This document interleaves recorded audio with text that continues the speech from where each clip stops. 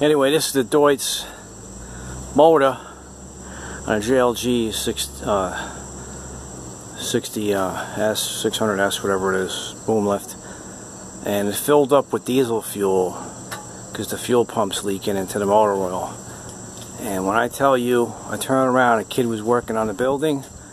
It was a 20 foot geyser coming out of that exhaust stack. It ran away the motor.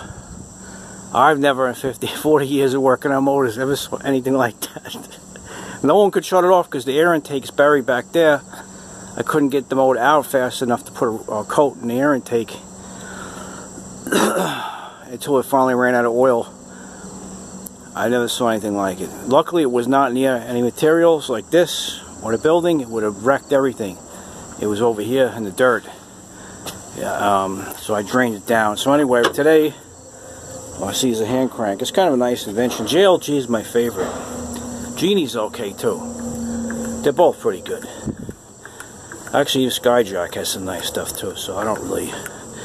I just don't... Deutz used to be air-cooled and they were solid, indestructible, simple motors.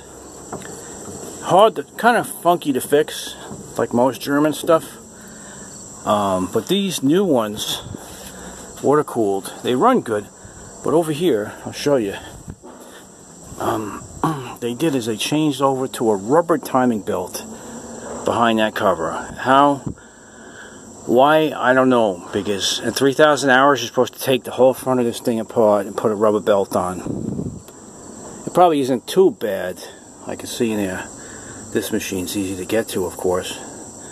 There's the fuel pump right there with this Phillips screw. It's easy change. And uh, oil went everywhere in here, man. But, uh, yeah, I'm not too impressed. I'm surprised Cummins don't make a small. Well, Perkins, I think Cat bought Perkins. I have some Perkins that are awesome. I'm not really impressed anymore with the Deutz. Um, the other one has a Cat, which is actually Mitsubishi. Runs absolutely beautiful. Kubota. Surprised they haven't used Yanmar engines in these things. The Yanmar is fantastic. Okay, so we're going to take this apart. Let me pause this. And uh, here's the job site. We've been here since last December. That thing went haywire last week. It shut down because it didn't regen, and the computer defueled the motor, and nobody had. You, there's no warning light telling you when to regen it. So for like three weeks I've been running it, and it just went nuts and shut down. Plus the fuel filters are totally loaded with bad stuff. Look like clam, look like Manhattan clam chowder in the fuel filters. Anyway, we we serviced that. It's running okay. I just don't particularly care for that crane. The controls very, very jerky. Um, it's got electric over hydraulic. 2008 340 T-Rex. It's a good, simple, cheap crane. It's okay. But I'm used to like GMK and Liebherr and you know the Grove um, 70 we have is uh, for old-fashioned four lever. You could feather and hold the load. This thing's hard to boom down and hold the load. Perfect. It's jerky. Anyway, these are the panels. We just finished these roofs. We got one more building to go. So it's like 1,300 feet. It's like a contractor rental building.